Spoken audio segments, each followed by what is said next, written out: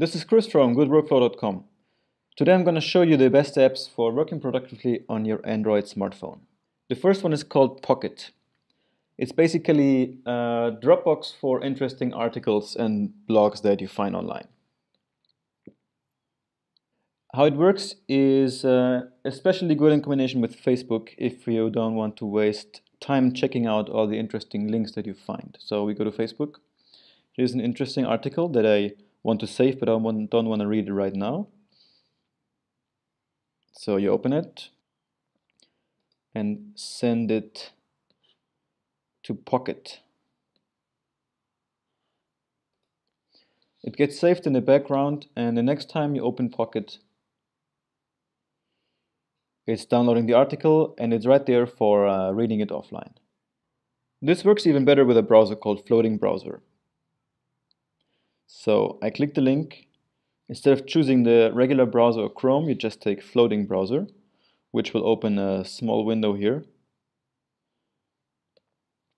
And the nice thing about this is you stay in Facebook and can continue using it while the website is loading. Here too, you can uh, maximize it or minimize it and click on share, share URL to Pocket.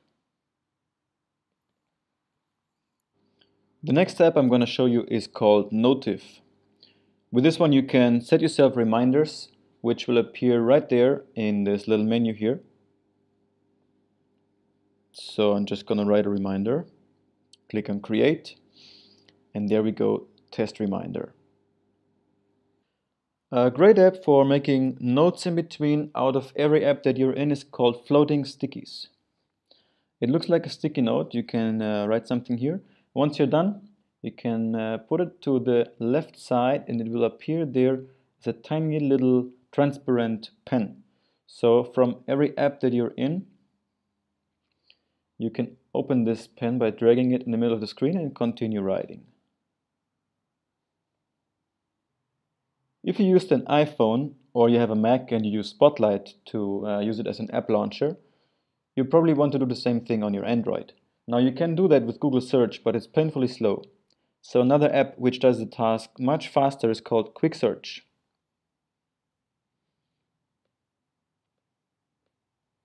There we go. My most favorite app next to Evernote is called MindMeister. It is basically an online mind mapping tool with an app for Android. It's a little bit slow, but I guess it's gonna get better. If you like to read things in another than your native language, you'll probably like the apps by BitNights. So if I have a word here which I want to translate, I just highlight it and send it to the translation app from BitNights and there will be a little pop-up window with a translation. Another great app is called Llama. With this one you can set up location profiles and based on the cell phone towers in your region it will uh, find out where you are and you can set up a passcode lock to automatically activate once you leave your home or your workplace. When you enter your home or your workplace, the passcode lock will automatically be deactivated again, so you don't have to type it in every time you open up your phone. Next to toggling the passcode lock, you can do other things like automatically toggling your mobile internet connection, Wi-Fi, Bluetooth, you can uh, change the brightness of the screen, everything that you can change in your Android phone, you, can let automatically be changed by the app called Llama. One app which can massively accelerate your workflow on your Android is called All-in-One Gestures. Usually if you want to exit an app, go back to home screen, you press the home button. If you want to access the task menu, you long press the home button, which takes far too long time for me. And if you want to go back, you have to go all the way down the screen here to this little button. Now with all-in-one apps, you can do the same thing from the corners of your display. For example, accessing the task manager by doing this kind of swipe.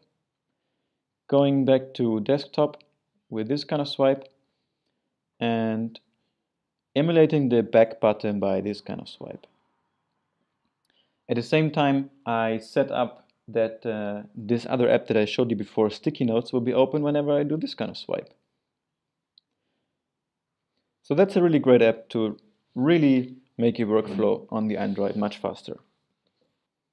Oftentimes I find myself in situations where I want to quickly alternate between recently used apps, like the Alt Tab or Command Tab feature from your PC or your Mac. This you can do with an app called Switcher. Let's go to uh, Google Play Store and to Astro File Manager. And now to switch back to Google Play Store, I just drag this little button to the middle of the screen. Go back to Astro File Manager, same thing. If you are a procrastinator like me, you can use an app called Self Control. With this you can set specific times a day where you will not be able to use any apps except some that you specified. So you can lock yourself out of Facebook, Twitter, and all the other time consumers, but allow yourself to use certain apps which you will use for work. A nice app to download YouTube videos is called TubeMate. Now you won't find this one in the Play Store, so you have to find it yourself on the internet. You can also download MP3, which makes it really nice if you just want one specific song from YouTube. The best app to make really cheap phone calls is called Mobile VoIP. With this one, uh, you can choose between 30 different mobile voice over IP providers and pick the cheapest one. I found one, it's called VoIP.io, with which I can make phone calls to most of my friends for half a cent per minute. You can do the same thing even if your internet connection really sucks by using the callback feature. This way, once you activate it, you will receive a call on your phone and once you pick it up, the call will be made to your uh, partner. So you will have a connection directly from your cell phone to the other person's cell phone and you're not dependent from the speed of your internet connection. One of the gems to keep your Android phone really fast is Greenify. What usually happens over time is that there are many apps which just stay in the background and use up RAM, making your phone slower and using battery. Greenify, which was in the beginning only available for rooted phones, and nowadays uh, you can also use it if you don't have a root, it closes all these apps which stay in the background, so they don't take up any RAM anymore, and your phone will be as fast as on the first day that you got it. To do this, you just click on this little widget and you close the apps which are still open manually and they will stay closed one app to extend your battery life is called Juice Defender. What it does is it turns off your internet connection whenever your phone is switched off and not needed.